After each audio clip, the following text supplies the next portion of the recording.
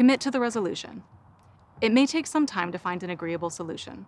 Holding ourselves and others accountable for following through on the agreement builds further trust and goodwill.